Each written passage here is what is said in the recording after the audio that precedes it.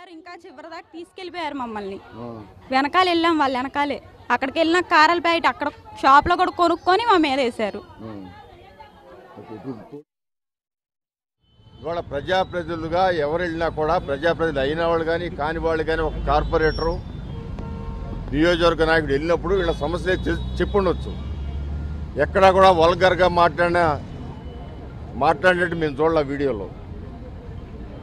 అలాంటి చిన్న సంఘటన కూడా అడగటం కూడా తప్పన్న విధంగా. ఉదయాన్నే దాడి చేసి చంపడానికి కూడా ప్రయత్నం చేయటం చాలా దురదృష్టకరం. ఇవాళ రాష్ట్రం అంతా కూడా జగన్మోహన్ రెడ్డి గారి నాయకత్వంలో ఏ విధమైన అరాచకాలు జరుగుతున్నాయో ఆ అరాచకాలని ప్రోత్సహిస్తున్న ఆది నాయకులు ప్రతి ఒక్కళ్ళు కూడా ఎన్ని గొడవలు చేస్తే అంత మంచి నాయకులుగా పరిగణించే విధంగా జగన్మోహన్ రెడ్డి గారి ప్రవర్తన వల్ల ఇలాంటి సంఘటనలు జరుగుతూ ఉన్నాయి.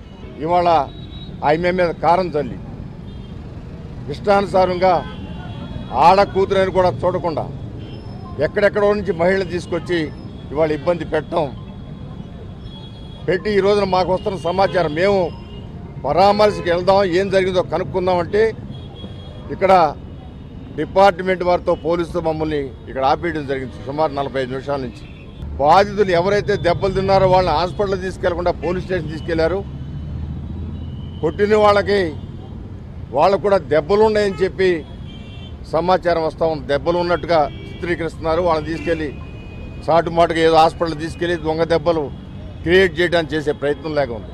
ఈ యొక్క రాక్షస పరిపాలనకి రోజు జరుగుతున్నట్టుగానే ఏదో ఒక రోజున ప్రతి రోజున కూడా రాక్షస రాక్షసత్వం ప్రదర్శించాలా? ఆయన ముఖ్యమంత్రి గారు చూసుకోవాలా? దాన్ని ఆనందపడాలా?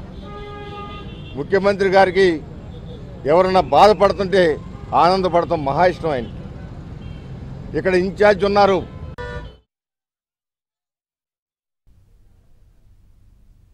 తమపై దాడికి దిగిన గ్యాంగ్పై చర్యలు తీసుకోవాలని బాధితులు డిమాండ్ చేశారు. వీరికి సంఘీభావంగా కృష్ణలంక పోలీస్ స్టేషన్కు బయలుదేరిన ఎమ్మెల్యే గద్దెను పోలీసులు అడ్డుకున్నారు. పోలీసుల తీరుపై టీడీపీ నేతలు తీవ్రంగా తప్పుపట్టారు.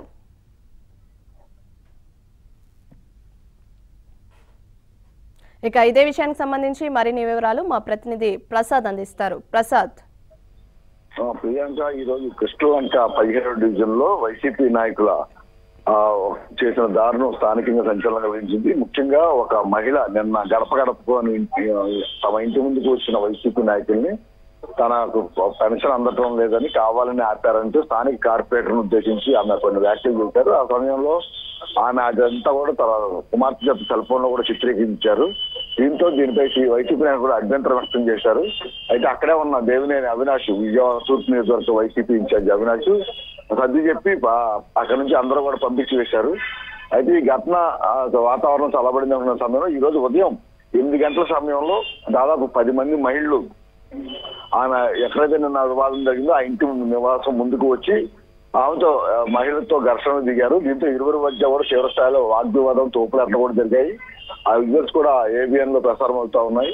ఈ నేపథ్యంలో మాట మాట పెరగడంతో ఘర్షణ వాతావరణం నెలకొంది. ఒకరిపై ఒకరు దాడి చేసుకున్నారు. ముఖ్యంగా పది మంది మహిళలు ఆ ఇంటిపై దాడి చేసిన ఘటన చూసి స్థానికులు కూడా వెంటనే స్పందించారు. వెంటనే ఎవరైతే ఇతర ప్రాంతాల నుంచి వచ్చి దాడి చేశారో వారందరిపై కూడా ఎదురు దాడికి ప్రయత్నించారు. దీంతో ఇరు వర్గాల మధ్య కూడా కొట్లాట జరిగింది. ఇది ఇరు వర్గాల. దాదాపు ఇద్దరు ముగ్గురికి గాయాలు జరిగినట్టు కూడా చెప్తా ఉన్నారు. ఈ విషయం తెలుసుకున్న దేవినేని అవినాష్ కూడా అక్కడ చేరుకొని ఇదంతా కూడా టీడీపీ కుట్రగా అభివర్ణించారు. అయితే ఆ విజయవాడ తూర్పు ఎమ్మెల్యే గద్దె రామ్మోహన్ కూడా కొంచెం కృష్ణలంక పోలీస్ స్టేషన్ బయలుదేరిన నేపథ్యంలో పోలీసులు ఆయన రోడ్డుపై అడ్డుకున్నారు. దీంతో కొంత వాగ్వాదం కూడా నడిచింది. చివరకు తమ ఎట్టి పరిస్థితుల్లో ఇల్లు చేరాల్సిందని చెప్పి పట్టుబట్టడంతో గద్దె రామ్మోహన్ ప్రత్యేక పోలీసు బందోబస్తు ఇచ్చి కృష్ణలంక పోలీస్ స్టేషన్ తీసుకెళ్ళారు. ప్రస్తుతం ఆయన అక్కడ ఉన్న టీడీపీ బాధితులు ఎవరైతే ఉన్నారో వాళ్ళతో మాట్లాడటం కూడా జరుగుతా ఉంది.